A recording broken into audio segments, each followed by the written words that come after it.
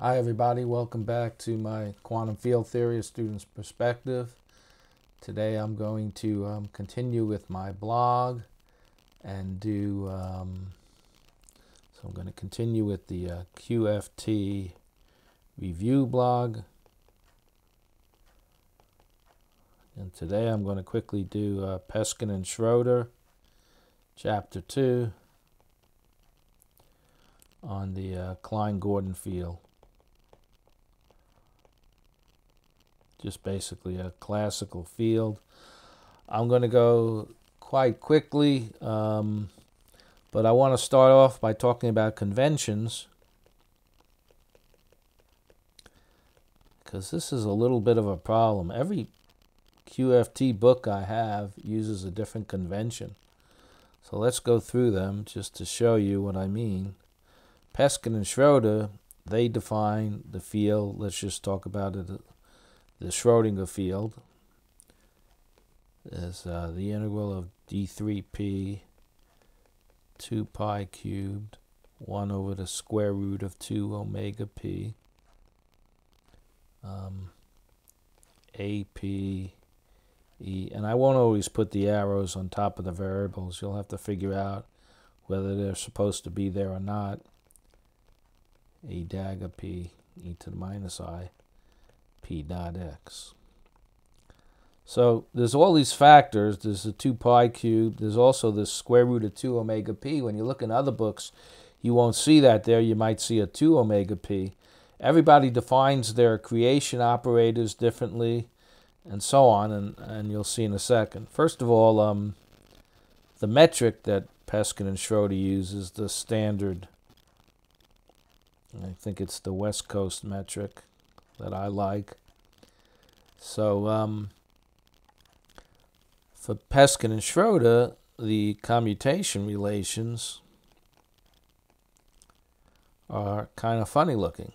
They have a 2 pi cubed and a del 3 p minus p prime. So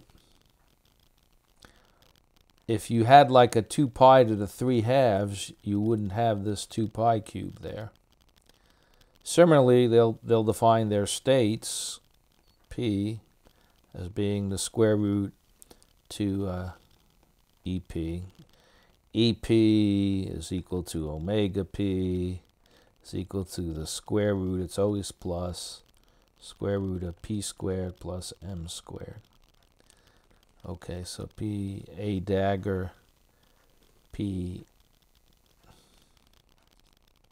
should be a subscript here. Acting on the vacuum. So again, there's this funny factor here. If you had 2 omega p over here instead of uh, square root, then you wouldn't need that factor.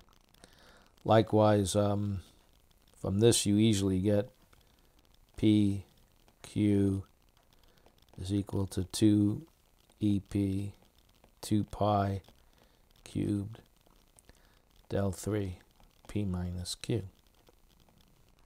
So that's uh, Peskin and Schroeder. Now, if you happen to go to uh, book, it's quite different. First of all, he uses the East Coast metric, you always have to keep that in mind. He defines this invariant relativistic measure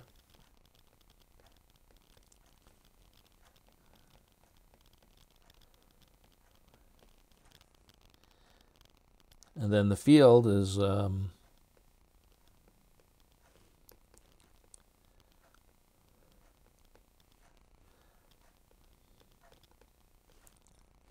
I'm also writing it the way they write it. Some of them use subscripts, some use parentheses, so on.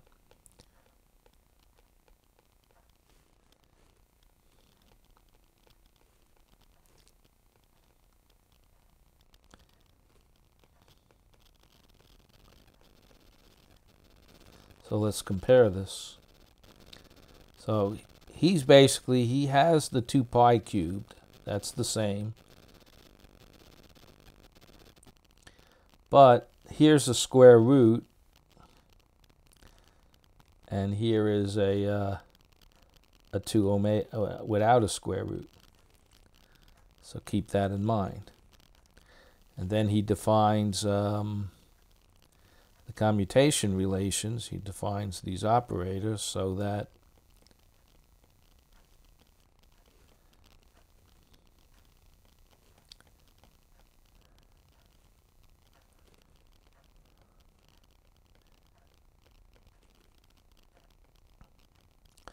So it seems like he's using the exact same commutation relations. Um, no, I'm sorry.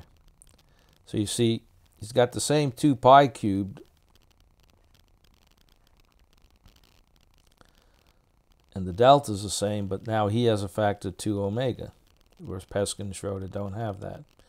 Because he's got a, an extra 2 omega in the denominator when you have two, um, two creation operators.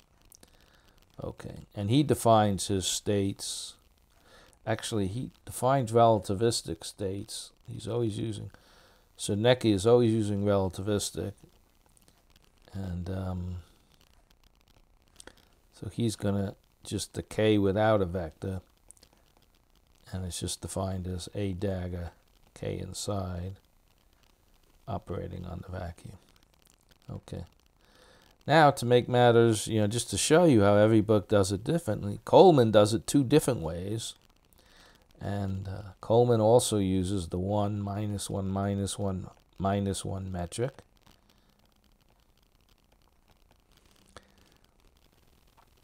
He has Vx is equal to the integral d3p 2 pi to the 3 halves 2 omega p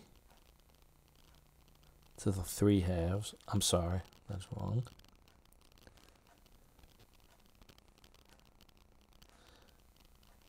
To the 1 half. Then he has APE to the I, P dot X plus A dagger P E to the minus I, P dot X. Okay, so you see his differ a little bit even more because he's got square roots in this measure, whereas Srednicki has the full relativistic measure, and Peskin and Schroeder has a square root, but not a square root in the 2 pi. So you can see he's going to have a different variation. His variation is AP a dagger P prime equal del 3 P minus P prime. No factors. And um, and P Q equals del 3 P minus Q. So he's using a non-relativistic convention, but he also defines these relativistic creation and annihilation operators. He defines these alphas, 2 pi to the 3 halves square root of 2 omega p AP. And in terms of the alphas, the phi becomes the integral of d3p 2 pi cubed 2 omega p. So he ends up with the convention that Srednicki does, but he calls these alpha p's. But he doesn't use it very much. Occasionally he uses it in the book, but most of the time he doesn't.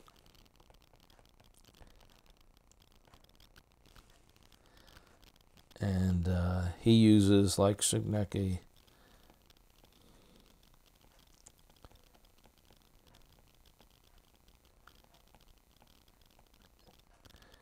and uh, these are sort of his relativistic things.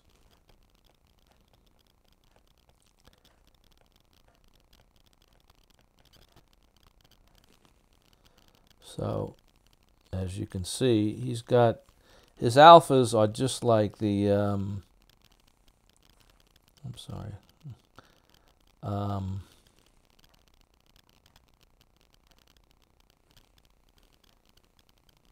so his alphas end up being just like Srednicki's A's, and um, and he has to measure like Srednicki. So Coleman uses two conventions, one of which uses the relativistic less than others and is similar to the Srednicki convention. And Peskin and Schroeder is just different. So you have to be careful with these, whether you have a 2 omega p in the denominator, a square root of 2 omega p. If you have a square root somewhere else, it's going to show up to sort of uh, fix it. And then the same thing with the 2 pi's and everything. So the lesson is simple.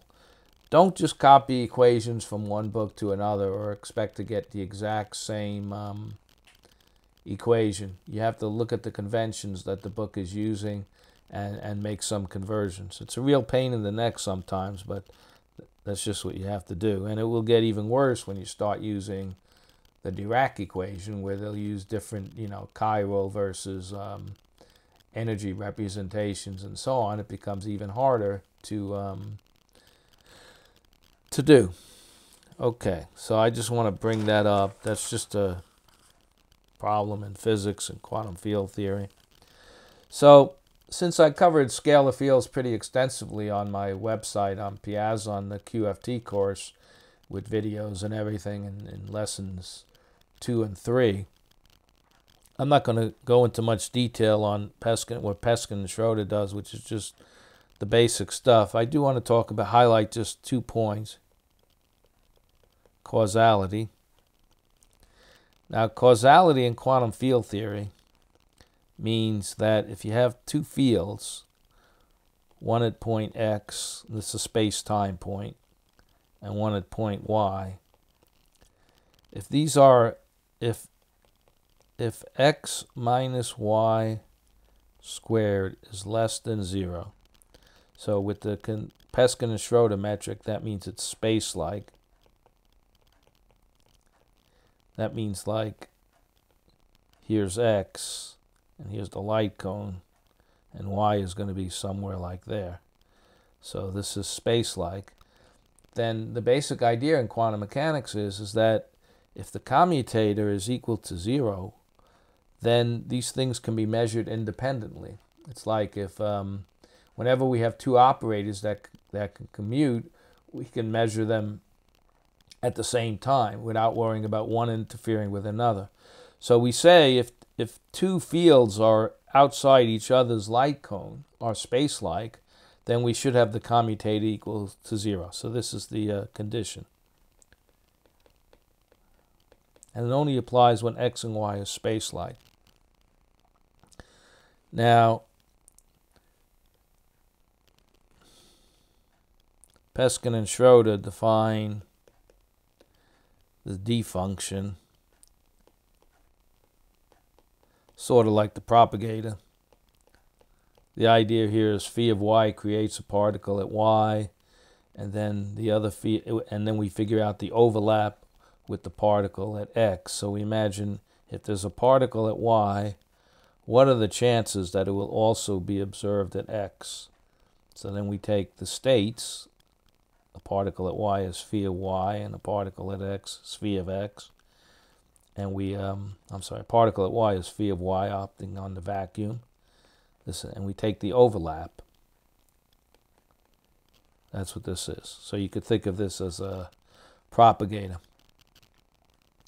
Now, um, it's easy to show if you substitute in the fields. Remember, the A will kill the vacuum on the right, and the A dagger will kill the vacuum on the left. So it's easy to show that this is equal to D3P, 2 pi cubed, 1 over 2 EP, e to the minus i p x minus y. And remember, this whole thing, as Srednicki defines and as everybody shows is relativistically invariant measure. So if the rest of this expression, which is obvious in this case, is Lorentz covariant, then the whole integral is Lorentz covariant. So this whole function is Lorentz covariant. Now,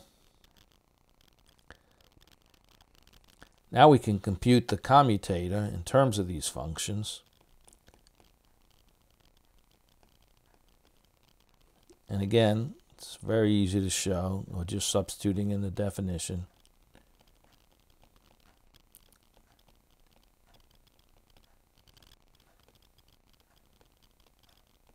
I'm leaving out the arrows on the P's and Q's here. Then we have the commutator.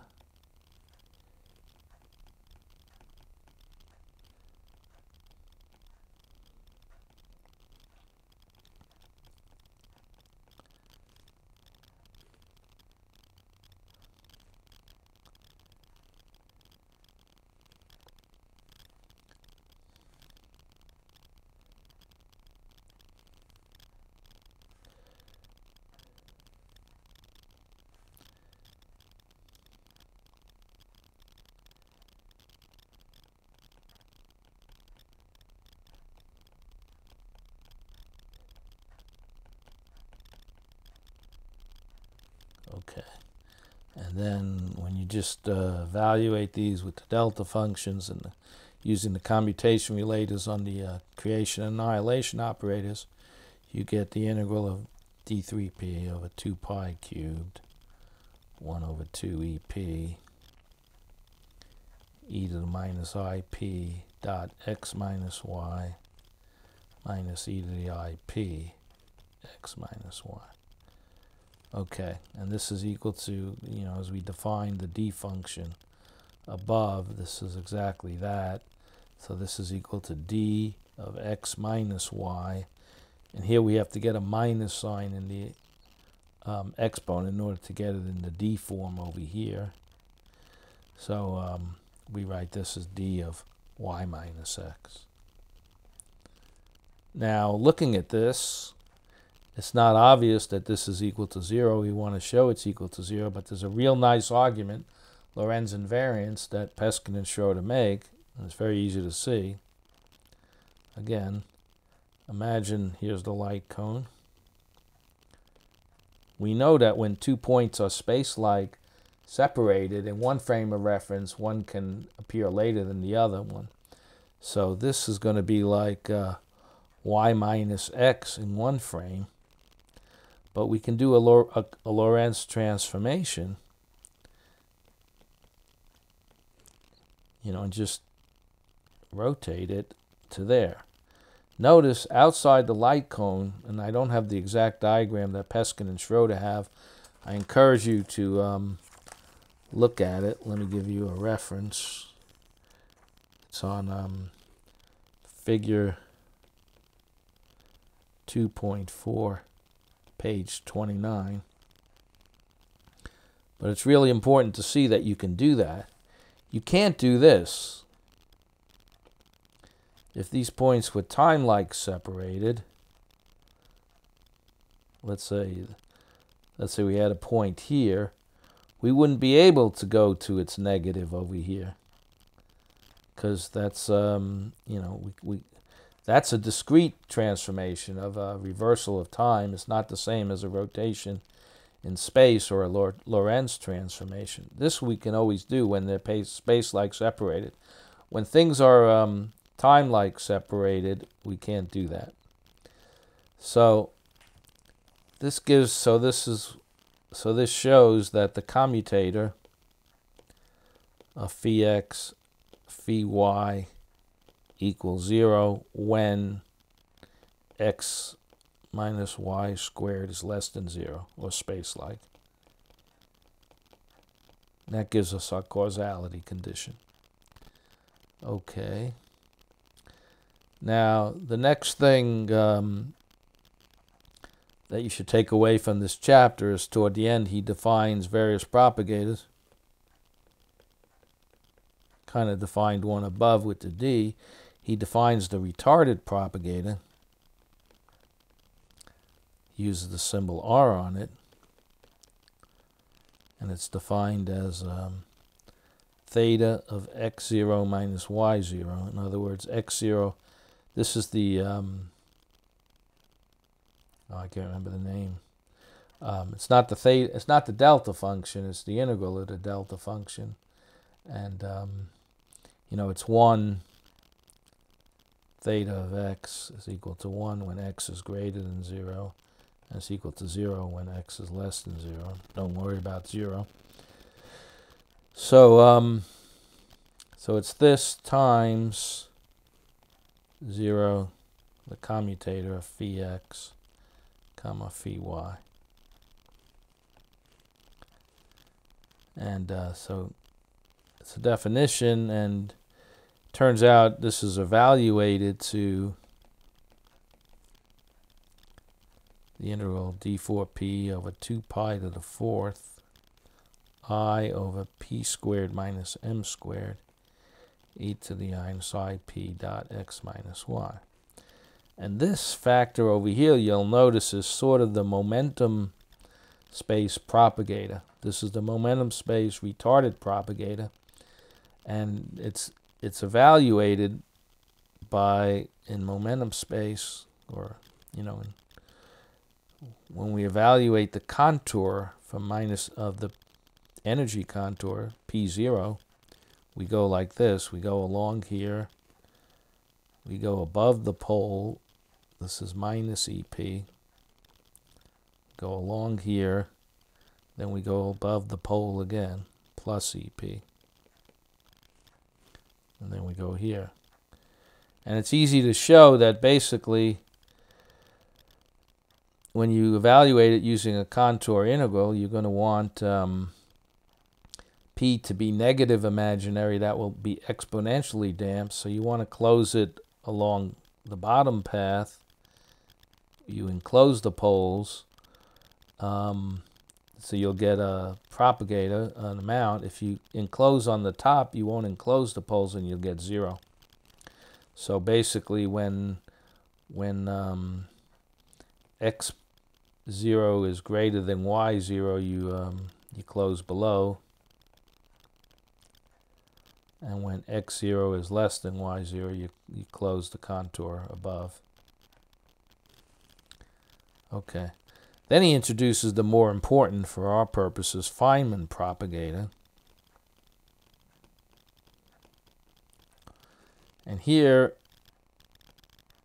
it's done I remember when my professor, Zach Ryerson, was teaching quantum field theory at Caltech, he said, it wasn't obvious to do this. It took the genius of Feynman to figure this out. You know, it's easy when you see it. And this is the proper path to get the Feynman propagator. And um, we define it by df x minus y it's just a regular propagator when x0 is greater than y0. And it's the negative of that when x0 is less than y0. So, um,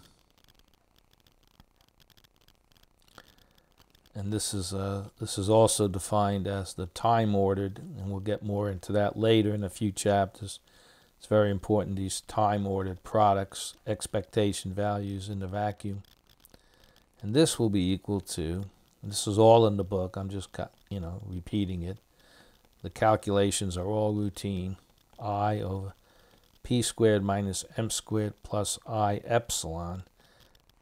The i epsilon enforces the poles, and um, e to the minus i p dot x minus y. So this is the Feynman propagator, and this is momentum space propagator. We'll use that a lot in Feynman diagrams. Uh, last thing I want to talk about is a uh, classical source.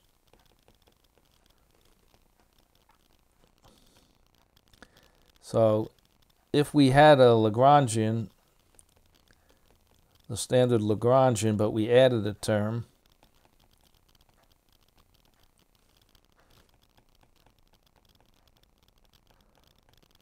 And this is this is just a classical C number.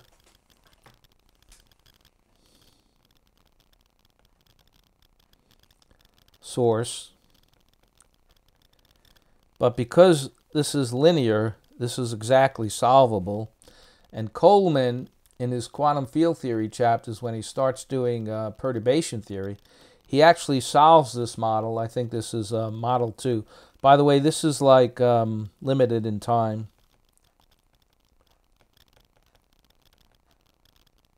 So a diagram of the source would be something like this is the t-axis. At infinity, it would be zero, and then it would like maybe go up, do this, do that, and then it would go to zero again. So at past infinity, it's zero, and at future infinity, it's zero. And Coleman solves this problem using perturbation theory, and he mentions that there are many ways to solve it. And Peskin and Schroeder solves it just directly by solving the differential equation. The differential equation from the Lagrangian is um, very is linear, and that's why it's um, easy to solve. Now, um, without the source, just the homogeneous equation, we know the solution is just the free field. I'll write it again for you.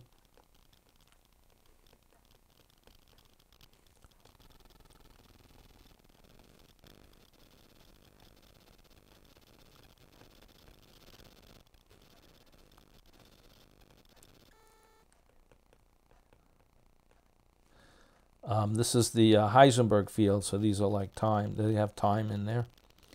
And um, with the classical source, the inhomogeneous equation has a solution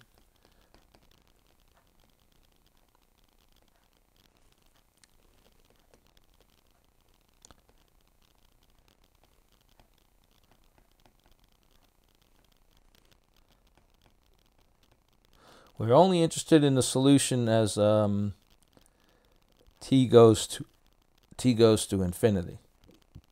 You know, x is equal to t comma x. So to show this, Peskin and Schroeder just write this down. It's it's obvious what to do, but in case you don't see it, just show that it satisfies the equation of motion. So apply the partial squared plus m squared times phi of x partial squared plus m squared on phi 0x by definition is 0 because that is uh, the free equation of motion. And then I have plus i, the integral of d4y. I'll write, I'll put a subscript here to note what I'm acting on, the variable. dr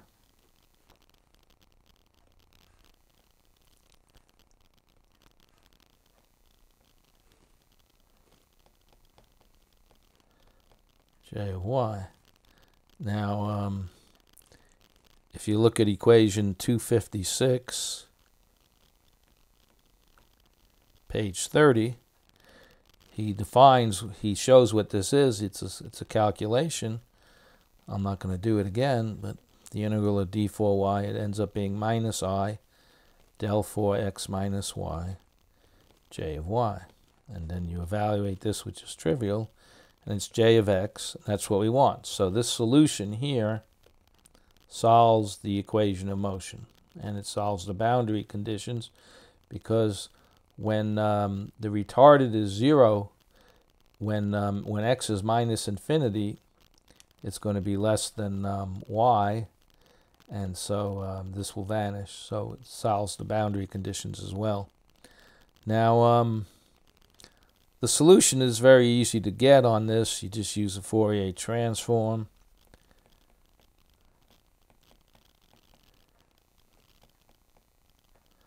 And again, in, in these Fourier transforms, P is on the mass shell.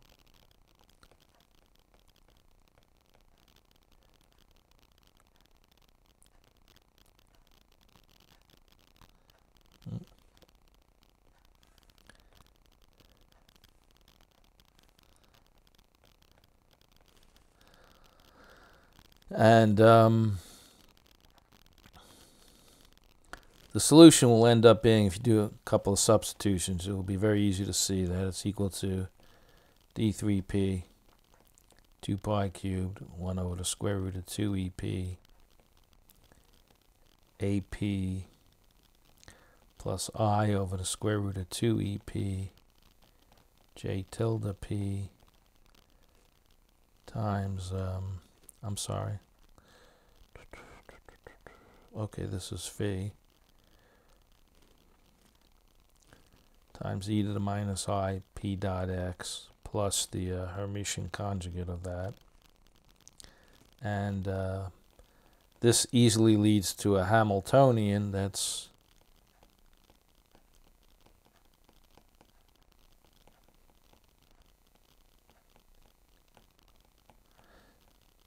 It's interesting that you get an exact solution, but uh, shouldn't surprise us for a linear um, equation of motion.